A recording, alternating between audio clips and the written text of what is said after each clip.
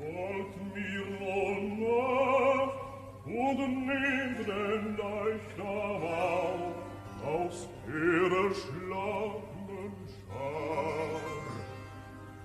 Wascht ihm mit Flug und reinem Grau das Blut der Wunden aus. Geleitet fort